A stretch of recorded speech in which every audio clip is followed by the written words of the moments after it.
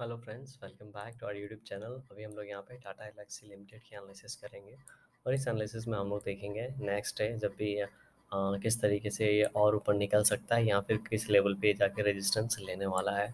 तो बहुत ही अच्छे तरीके से ये यहाँ पे जब से पैटर्न यहाँ पे ब्रेकआउट हुआ है स्लोली स्लोली ये ऊपर की ओर गया है। यहाँ पे तीन चार दिन वेट करने के बाद बहुत ही अच्छा आज अराउंड नाइन परसेंट के आसपास का हम लोगों को इसमें तेज़ी देखने को मिला है। तो नेक्स्ट सेशन में क्या हो सकता हो सकता है? नेक्स्ट ट्रेडिंग सेशन में यहाँ पे देखेंगे, पीछे जाके हिस्ट्री थोड़ा इसका चेक करेंगे तो एक चीज़ नोटिस करेंगे।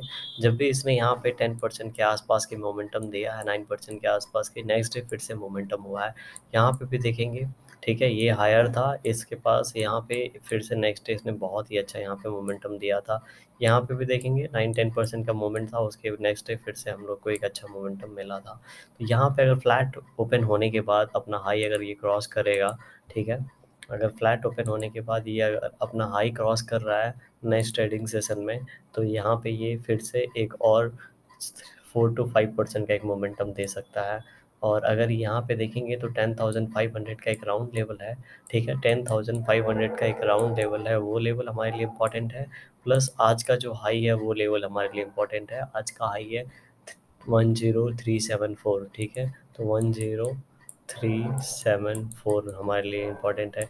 हो सकता है जिस तरीके से यहाँ पे ब्रेकआउट हम लोगों को मिला है, बहुत ही अच्छा हम लोगों को यहाँ पे ब्रेकआउट मिला है और यहाँ पे नाइन थाउज़ेंड फाइव हंड्रेड के बाद अराउंड ये वन थाउज़ेंड के आसपास यहाँ पे ट्रेवल किया है तो नेक्स्ट ट्रेडिंग सेशन में हमको फोर टू फाइव परसेंट फिर से एक ऊपर की ओर रैली देखने को मिल जाए, जो कि इस पॉइंट से अगर ऊपर की ओर जाएँगे तो around three two four hundred points का और हम लोग को रैली देखने को मिल सकता है। एंड उसके बाद क्या हो सकता है, फिर नेक्स्ट इस तरीके का कुछ यहाँ पे एकोमोलेशन हो सकता है, यहाँ पर ब्रेकआउट देने के बाद थोड़ा सा यहाँ पे प्रॉफिट बुकिंग आ सकती है एंड फिर ये अपना जर्नी फिर से थोड़ा ब्रेक लेने के बाद वेट करने के बाद डिसाइड करेगा।